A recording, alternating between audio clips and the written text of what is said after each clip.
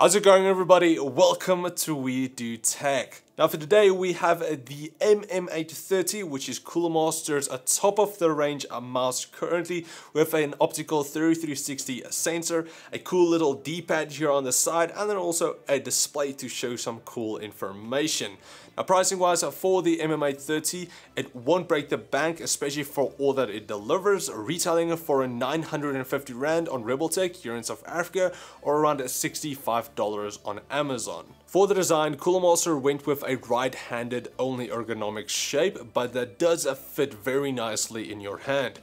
Master also went with PBT plastic instead of the standard ABS, which does make it feel a lot more premium, but that does also add some weight, which we'll get into later. The PBT has an ever so slightly texture to it that does add some grip, especially if you are in a heavy gaming session and your hands are starting to sweat a bit. You do get this opening slice just above the palm rest as well, but don't worry, it didn't even bother me while I was using it, so it's fine. As for the size of the mouse and the grip styles, being that it's more of a large to medium size mouse, palm or a claw grip would be recommended and of course hand size more of a medium to large size hands.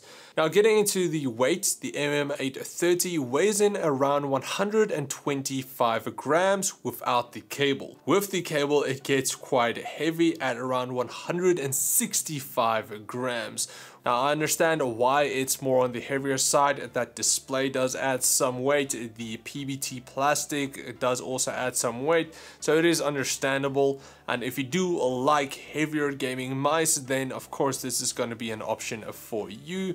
Now moving on to the right side, this is where all of the magic happens. So firstly you do get that curved out thumb rest that supports your thumb really well.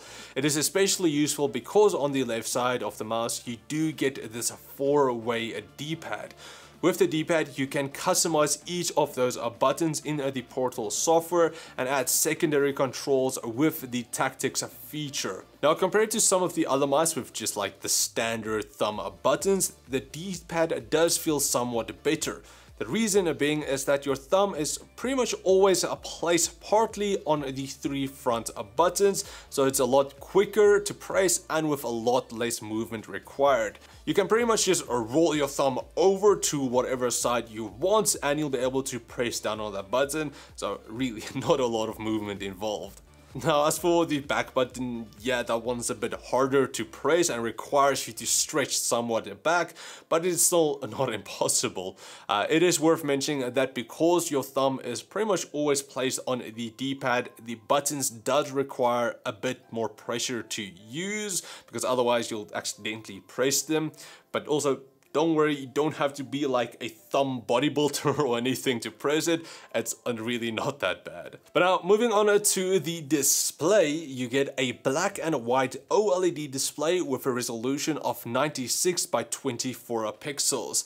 Now, you won't be able to watch Shroud owning on it, but you can show some of your system information, your mouse information, your APM count, your game genre, and then also you can create your own custom a picture to display on it. Now, don't judge my, my picture that I drew, it was quick and I'm not an artist, but that's kind of the stuff that you can do and just play around with that. I will say that even though this is still kind of cool, uh, the MM830's display is lacking a few things. It currently can't show any game stats or any other really features. Just for example, the Rival 700, which also has a display on the side, with that one you can show your game stats like health, kills, headshots, and so on. There's a lot more game integration with their software into the display.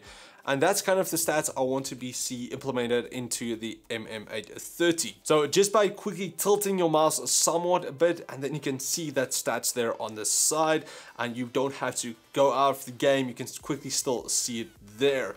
Now, I'm not sure if Master will add this though, I, I doubt it because it's a lot more work involved, but for future mice, I want to see more options like that. Something like a clock, then you can see your time, a timer, a countdown, a game achievement system, a alert, or there's just a ton of other ones that they can actually add. I want to see more involved into the display because it's a really nice feature, but if it's not implemented right, then it's just kind of there. Now I am possibly going overboard with uh, this because again it might be a lot of work to do that, game integration and all of that. But if you do have the feature, take full advantage of that and make the mouse even better. Then moving on to the right side, you just get a slight downwards curve in the front and a backwards curve more towards the palm. Uh, no issues there. Pinky placement and ring finger placement was a very, very nice, extremely comfortable mouse in my opinion. For the left and right mouse buttons, you get Omron switches with a 20 million click life cycle. The buttons does feel nice and snappy with a good travel distance, so no issues there. Then for the scroll wheel, you get a slightly textured rubber grip with RGB on the sides. The scroll does have a decently short step to it, but I believe the sample that I had had a faulty scroll wheel because even though the scroll on its own isn't quiet at all, uh, it did make this annoying squeaking noise uh, in certain times. But now if that just happens to you, you do have a two year warranty, so just send it back and they should replace it for you. Then behind the scroll wheel, you get the single DPI selection switch that lets you cycle through the four DPI levels, ranging from 200 to 24,000 in increments of 100s. You also get these three light bars that will let you know on what DPI level you are on. Then taking a look underneath the mouse, you do get three glide pads that does deliver a nice smooth and silent glide. For the sensor, you get the old faithful Pixart PMW3360 optical sensor with a max DPI of 24,000, an IPS of 250, a max polling rate of 1000 Hz, and then for liftoff distance, it was very low at even less than 1 DVD. Then just really quickly for the cable, you get a 1.8 meter USB braided cable that is pretty flexible. And yep, that's pretty much it. Then finally getting into the Portal software, here you can do all the basics like change the commands of the, the buttons, create your own uh, macros, adjust the DPI, polling rate, angle snapping, lift-off distance, and so on. You do also have a bunch of lighting effects that you can apply for the scroll wheel and for the logo on the palm rest.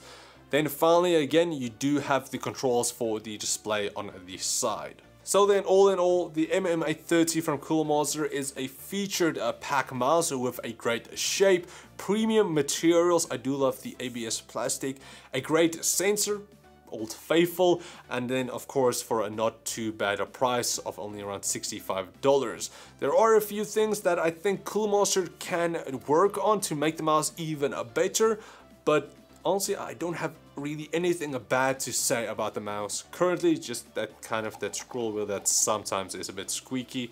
Uh, I think that's only my sample. But yeah, that's pretty much it. Thanks for watching guys. I do hope you enjoyed. If you did, please like, share, comment, comment like always. Uh, links are in the description below. Big thanks to Cooler Monster for sending this one over. And I'll check all of you next time. Cheers guys.